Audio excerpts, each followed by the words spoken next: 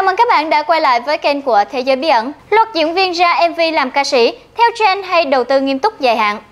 Câu chuyện hot girl đi hát không còn quá xa lạ đối với khán giả Việt. Những cô nàng hot girl đời đầu như Quỳnh Nga, Thủy Tóc đều chuyển sang ca hát nhưng vẫn chưa tạo được dấu ấn tốt trong lòng khán giả. Vài năm trở lại đây, trào lưu này lại phát triển rầm rộ hơn và gây sự chú ý đặc biệt đối với cộng đồng mạng. Những người đẹp này đang theo trend hay là đầu tư nghiêm túc dài hạn? Và Kim Trinh xin chúc cho tất cả các bạn có một năm mới an khang, thịnh vượng, và sự như ý. Và đừng quên bấm like, share, subscribe và ấn vào nút thông báo để nhận ngay những thông tin mới nhất đến từ thế giới bí ẩn các bạn nhé.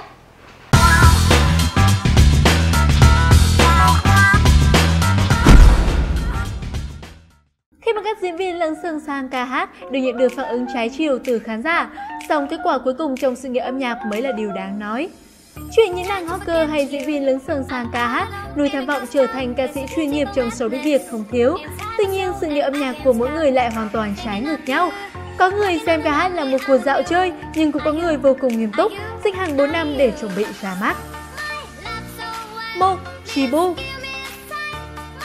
Chibu xuất thân là hot girl Hà Thanh, người mẫu ảnh với một chiều cao lý tưởng, gương mặt xinh xắn và được nhiều người yêu mến. Nếu mà nhắc đến chuyện hot girl đi hát, Ông ao nhất không thể không nhắc đến Chibu.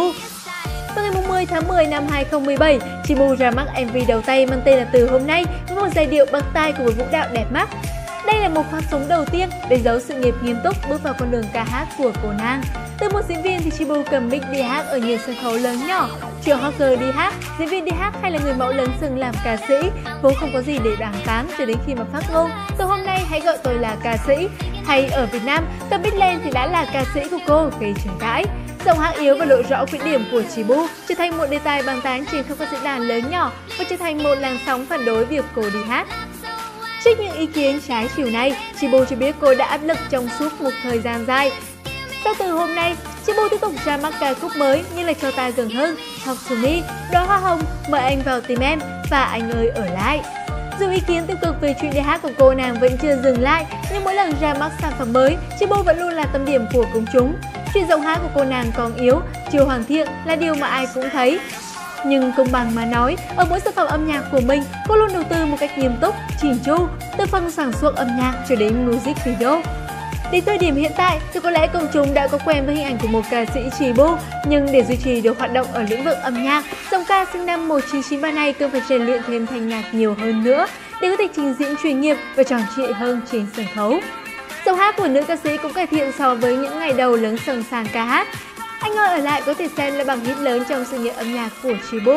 Hiện tại thì MV này đã có hơn 79 triệu lượt xem trên kênh YouTube. Suốt 2 năm kiên trì theo đuổi đam mê làm ca sĩ, Chibo dần dần chinh phục được khán giả, thay đổi cách nhìn nhận của công chúng về mình.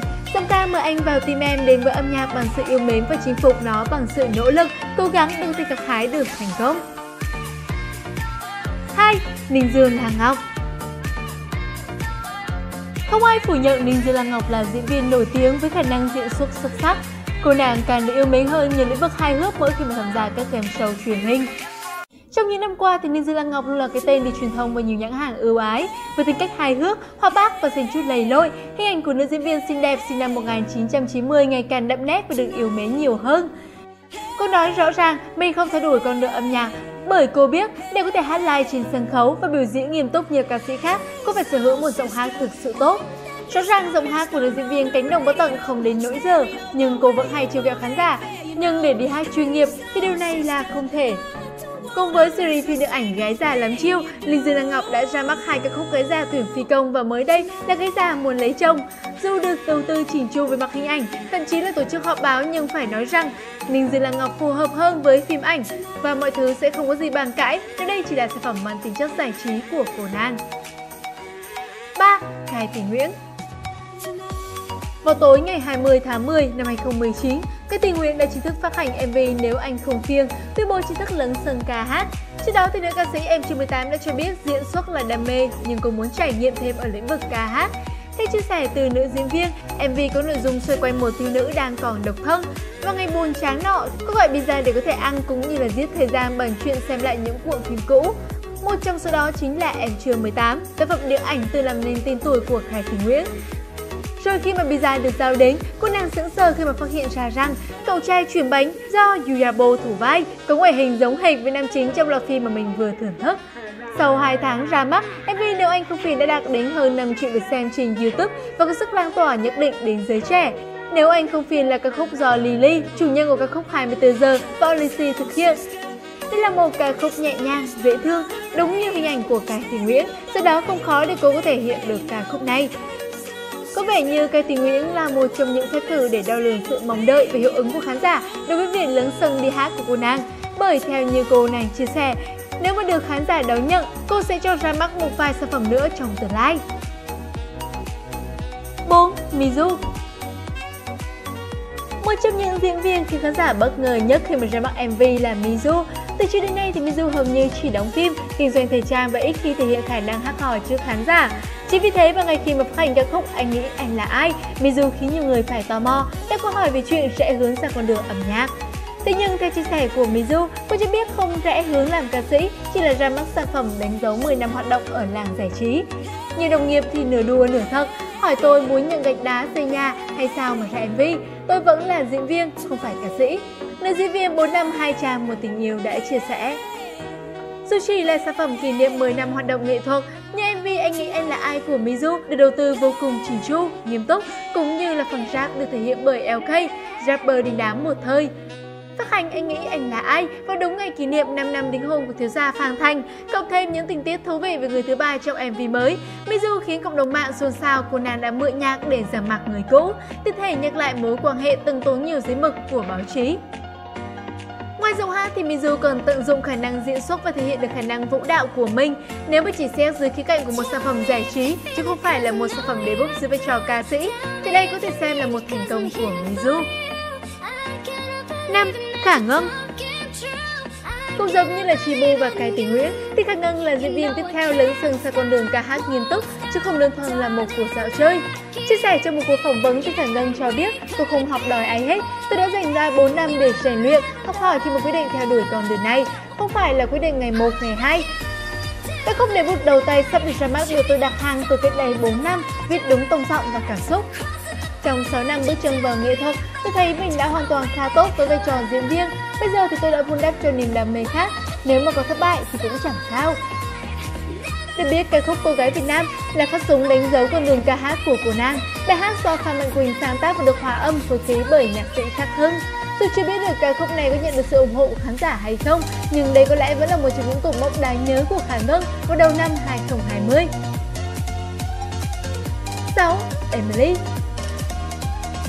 Emily chắc chắn là ví dụ điển hình cho việc Hawker đi hát và thành công vàng dội. Emily tham gia vào Miss Audition 2007 và giành được ngôi vị quán quân.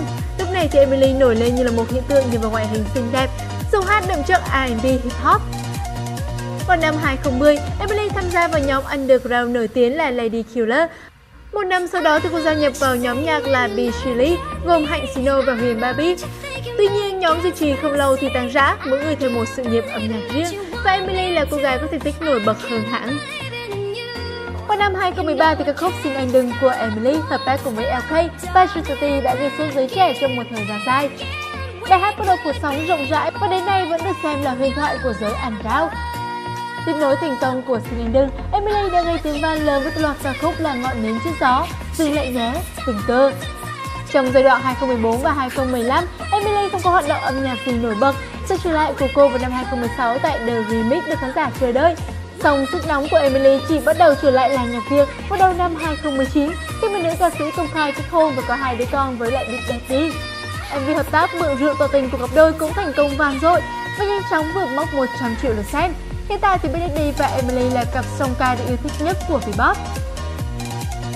Thế hệ ca sĩ Việt hiện nay vô cùng đông đảo với nhiều phong cách khác nhau, nhưng không phải ca sĩ nào cũng đi lên từ các cuộc thi âm nhạc hay là theo học ở những trường thanh nhạc chính quy.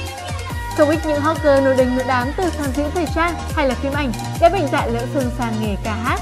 Vậy bằng nghĩ gì về giọng hát của những ca sĩ này? Hãy để lại bình luận ở phía bên dưới để chia sẻ với chúng tôi. Xin chào và hẹn gặp lại các bạn trong những video tiếp theo.